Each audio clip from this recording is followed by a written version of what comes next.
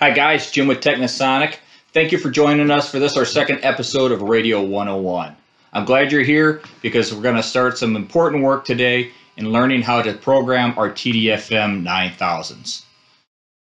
Part of what we have to understand when programming is what the radio is going to ask us. Now, the radios that we're used to as aviators are basically the same radios that were invented back in 1894. It's a walkie-talkie style radio. Tune and talk. Very simple. But in 2021 in land mobile radio, there's a lot more to consider. Land mobile radio and P25 standards have changed the face of radios. Today it's not just what's the frequency, it's also is there PL tones, is there a DPL tone? Is what's the mode? Is there a NAC code involved? Those kind of questions are going to get asked to us on every single channel. So we have to understand what the radio is asking us so that we can best set it up and so that we can troubleshoot and understand the symbology that's given to us when we're operating it. So what we're going to start today and for the next few episodes is we're going to do the hard work of understanding what the radio is asking us. This is going to allow us to do a much better job in setting up our code plugs. Everything from programming the frequencies to developing our zones to the ergonomics that we see on the radio to what our soft switches and what our switches do for us in the programmable side of things. This is going to go a long, long way, so bear with us, stick with the program, and if there are a couple more episodes, we're going to be through the hard work and we can start looking at the real stuff you want to know about, which is how to set up the code plug and how to make this radio operate for yourself or for your operators. So thank you so much. We're going to start now with Radio 101 and P25. So P25 is part of our land mobile network system. Now land mobile network is exactly what we mean. The radios are meant to be operated from the ground, so it's going to change things when we're in the aircraft. We're going to have a few more considerations and we'll learn about those as we go. But let's talk about P25 and what that is, because we've all heard the term, but some of us might not understand exactly what we're talking about. So P25 is this. P25 is an interoperability standard. And where it came from is a problem that was we're seeing in the 90s and early 2000s. And that was is radio systems have proprietary signaling in them. If you bought a Motorola radio, it could not talk to a Harris radio. That Harris radio could not talk to a Tait radio. The Tait radio couldn't talk to an EF Johnson. And around and around we go. So that was starting to cause some serious problems. In my example here, I'm going to use a three alarm fire. Now the first truck to show up here is Motorolaville. And the truck and all of the firefighters are on Motorola radios and they can talk to each other and coordinate against the fire. But now the fire's gotten too big and Harrisburg shows up. They come in from another area, they're on a separate radio system. Even though they have the same frequency set into the radio, the Harris radio would not break squelch on the Motorola radio. So we started to have a communications breakdown. And now we get a little bigger fire, and now Tait City shows up. And Tait has the same problem as Harris and Motorola. Everybody's proprietary, and we couldn't talk. Now we start getting to some critical situations.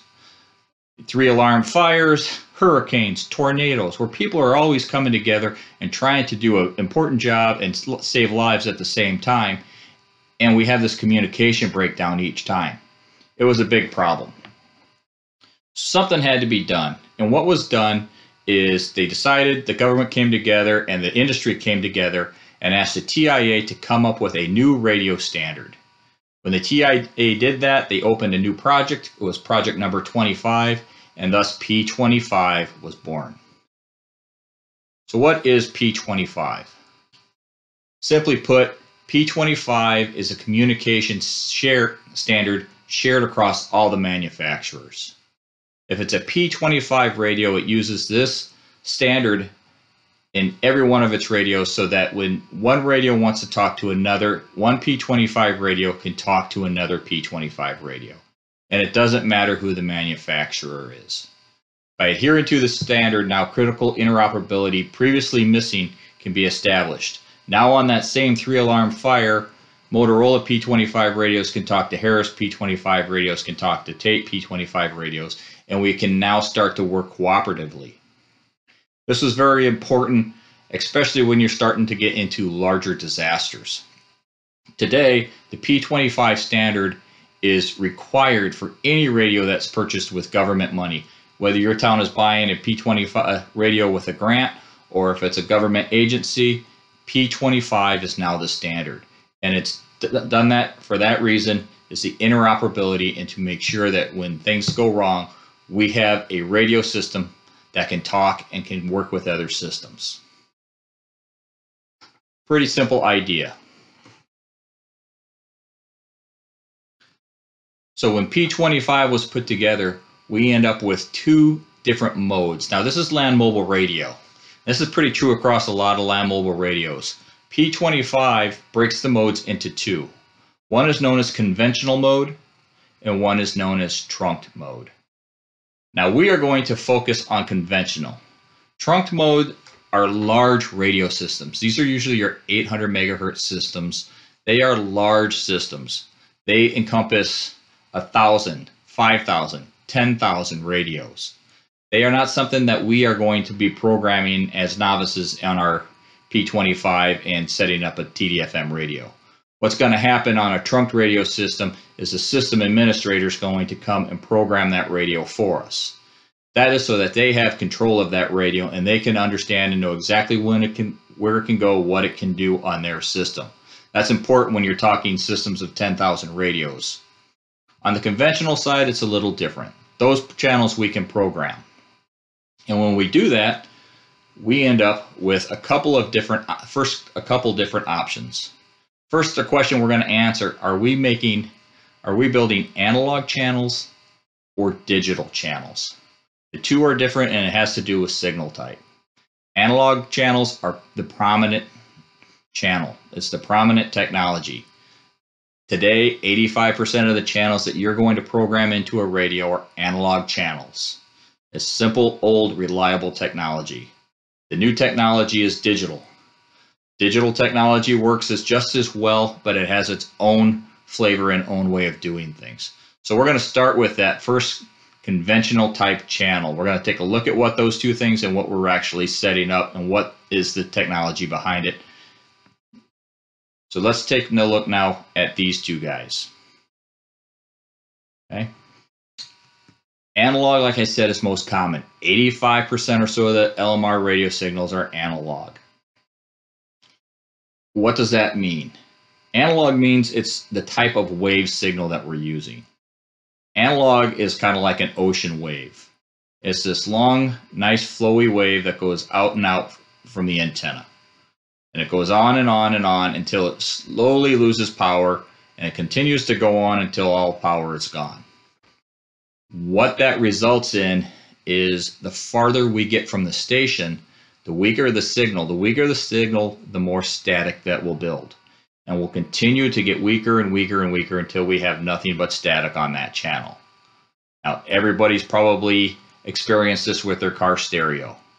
You put on your favorite channel, you start driving on a road trip, you're 50 miles away, it starts to get a little weaker, starts to be a little more quiet, gets a little more broken.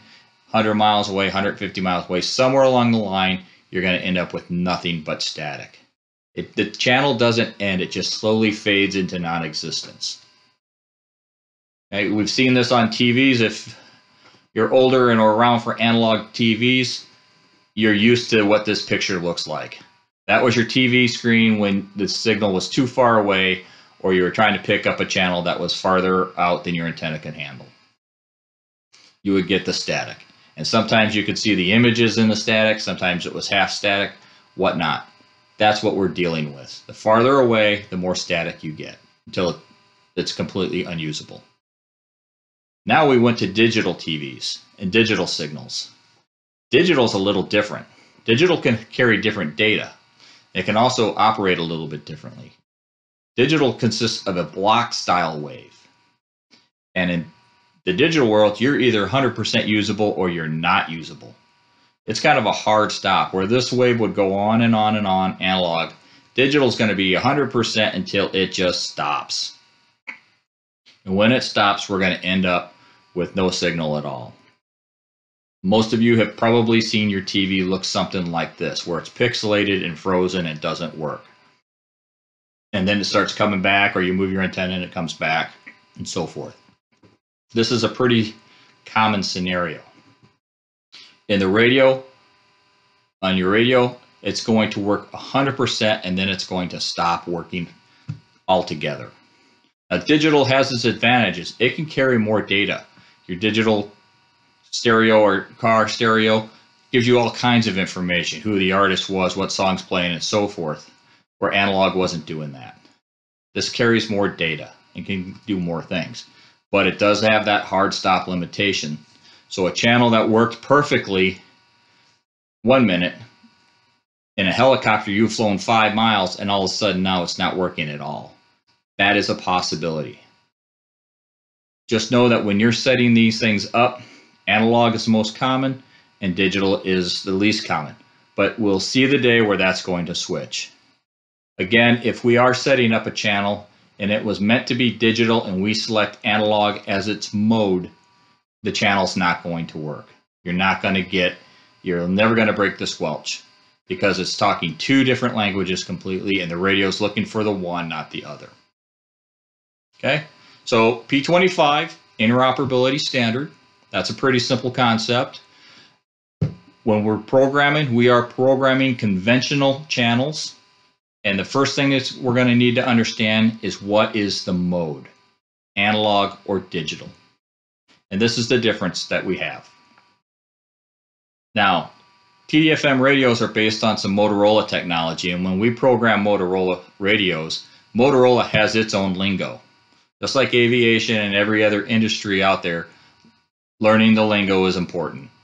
Motorola has its own lingo. lingo. In Motorola, an analog channel is known as a non-astro channel. A digital channel is known as astro. So we're going to be asked the question, is this a non-astro or an astro channel? And we're going to have to start that question. That's one of the first questions we're going to be asked.